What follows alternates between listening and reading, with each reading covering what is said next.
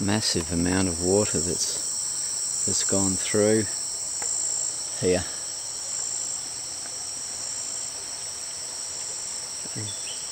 That's a big log and it's a long way from what the creek uh, from where the creek normally is all the way up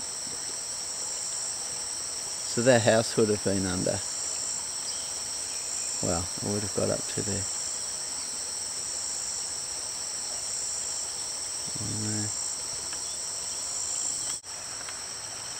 Hi everyone, this is our weather share for today. We haven't put the other one up yet, so you're going to get two weather shares in one go. Uh, a lot of rain, a lot of rain last night, and as a result of that, we do have some flooding, very minor flooding, but unable to get through. Um, as you can see here, there's the rivers flowing down that way instead of across there. So um, quite a lot of a lot of rain a lot of rain there. So um, won't be able to get through for a little while.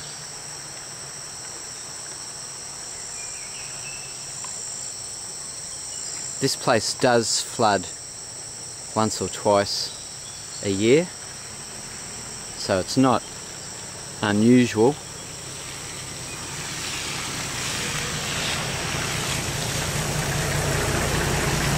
I don't think, even though it's a four-wheel drive, I don't think they'll be going through that one.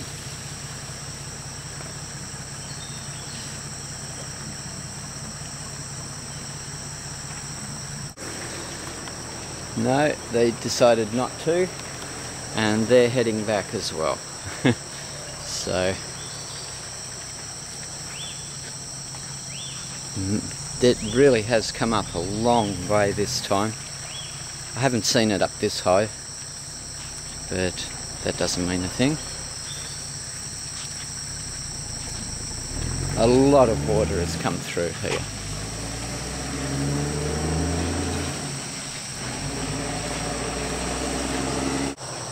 Like somebody's going to go try and go through it. I will be surprised. Yep, they're going through it.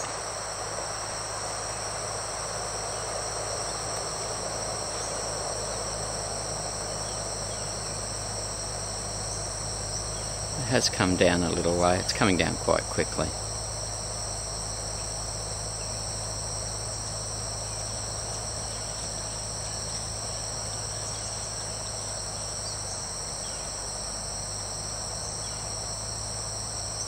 There we go, the first person through.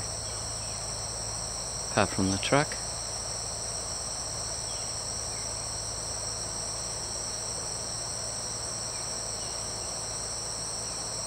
Still going.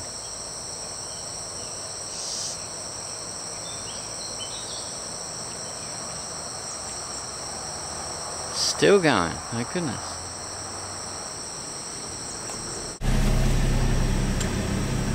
Okay, well we're we're heading off.